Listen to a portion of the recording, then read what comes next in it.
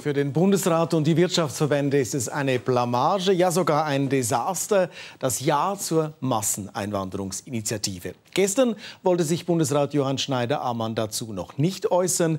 Nun nimmt er gegenüber ECO Stellung.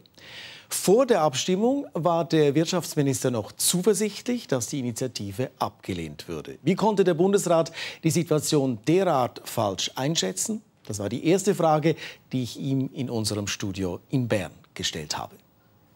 Ja, ich gebe gerne zu. Wir haben uns verschätzt. Äh, ich war tatsächlich zuversichtlich. Ich habe mir gesagt, es betrifft das ganze Land, es betrifft direkter oder indirekter jeden Arbeitsplatz. Ergo wird die Schweizer Bevölkerung besonders sorgfältig äh, überlegen, ob es ein neues System sein darf oder nicht.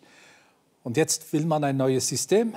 Das ist zu akzeptieren und wir werden auch ein neues System äh, herstellen wollen und herstellen müssen, das dem Standort nützt. Haben wir nicht ein ganz tiefgreifendes Problem, dass nämlich die Wirtschaft oder dass die Bevölkerung nicht mehr akzeptiert, was die Wirtschaft will, dass die wirtschaftspolitischen Vorstellungen nicht mehr mehrheitsfähig sind. Die Abzockinitiative hat es schon gezeigt, jetzt wieder, was die Wirtschaft will, wird nicht mehr akzeptiert. Ich glaube, die Bevölkerung will beide Seiten der Medaille. Sie will auf der einen Seite den Wohlstand, das Wachstum, das dazugehört, die Sicherheit des Arbeitsplatzes, das ist alles gut. Und das ging ja nicht ohne Fachkräfte. Und auf der anderen Seite wollen wir Kulturland, wir wollen tiefe Wohnungszinse und so weiter und so fort. Das zusammenbringen ist schwierig und das wird jetzt unsere Herausforderung Aber genau sein. Da hätten Sie doch diese Probleme aufgreifen müssen und Lösungen vorlegen müssen. Und genau das hat der Bundesrat nicht gemacht. Doch, Sie Bundes haben immer nur auf die Probleme hingewiesen, nein, aber nein, Sie nein. haben keine Lösungen gezeigt. Nein, nein, nein. Der Bundesrat hat viel gemacht. Er hat dem Parlament vorgeschlagen, äh, die Scheinselbstständigkeit zu bekämpfen, arbeitsmarktliche Eingriffe zu machen ich habe es gemacht und zwar gegen meine Überzeugung, aber weil ich wusste, dass man den Markt, Arbeitsmarkt unter Kontrolle kriegen muss, wenn man nicht äh, den Volkswillen äh, herausfordern will. Jetzt hat das nicht gereicht, äh, die Zeit hat auch nicht gereicht und wir sind jetzt in einem neuen, neuen Regime. Aber gerade diese flankierenden Maßnahmen, die Sie ansprechen, die haben offenbar einfach nicht gereicht. Kann man sie jetzt abschaffen? Jetzt brauchen wir sie nicht mehr, oder?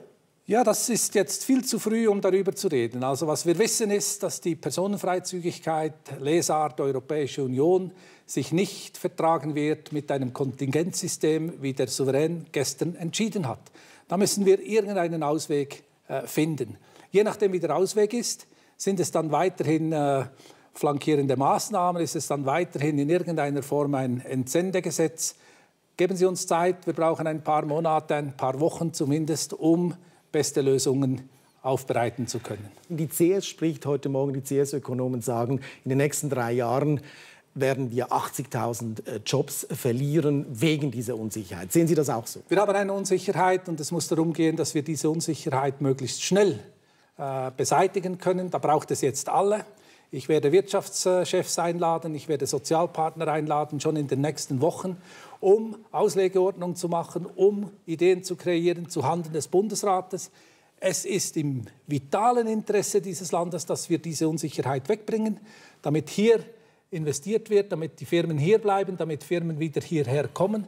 Denn das bestimmt am Ende des Tages die Beschäftigung und die ist bei uns so fantastisch, die dürfen wir nicht riskieren. Aber haben Sie solche Zahlen auch? Haben Sie ausgerechnet, was uns das jetzt kosten könnte in den nächsten Jahren an Jobs, dass wir jetzt äh, das Problem mit der EU haben? Ich spekuliere nicht und ich habe keine Modellrechnungen, die mir sagen, es gibt dann so und so viel äh, weniger Jobs. Die Initianten haben gesagt, wir wollen die Wirtschaft insgesamt weiterhin befördern. Sie haben gleichzeitig gesagt, wir wollen die Zuwanderung reduzieren. Und die Initianten werden uns jetzt in den nächsten Wochen zeigen müssen, wie man diese beiden äh, Herausforderungen auf einen Nenner bringen kann. Das wird ganz schwierig werden. Haben Sie sich auch als Bundesrat, als Wirtschaftsminister zu wenig eingesetzt? Weil man hat das Gefühl gehabt, Frau Sommaruga ist immer im Mittelpunkt und Sie sind überhaupt abgetaucht. Nein, ich bin nicht abgetaucht, in keinster Art und Weise. Ich war an vielen Anlässen. Ich habe äh, wöchentlich äh, mich eingebracht. Ich habe äh, ganz bewusst auch Regionen aufgesucht, äh, wo man wusste, dass es heikel äh, sein könnte. Wir haben Vor- und Nachteile aufgezeigt in beiden Fällen. Mhm. Äh, die Wirtschaft hat ein Glaubwürdigkeitsproblem, aber offenbar haben auch Sie persönlich ein Glaubwürdigkeitsproblem mit all diesen Enthüllungen in den letzten Tagen mit Offshore-Firmen der Ammann-Gruppe.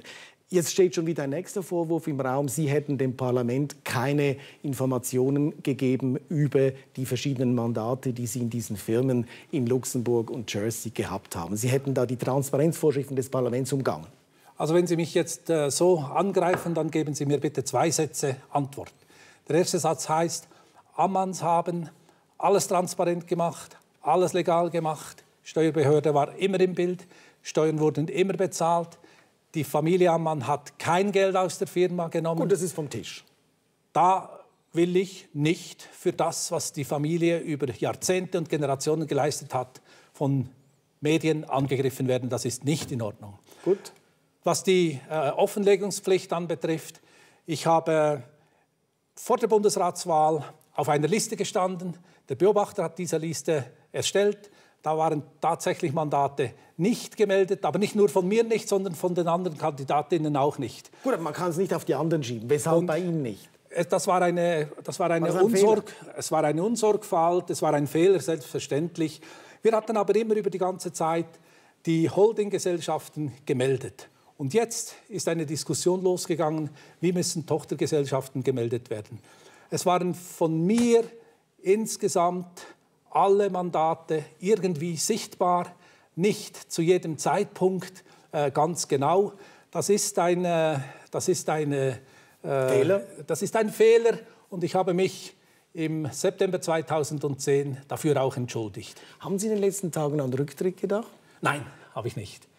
Ich habe mir gesagt, du hast dir nichts zu Schulden kommen lassen. Ich habe mir gesagt, ich habe anständiges Unternehmertum betrieben.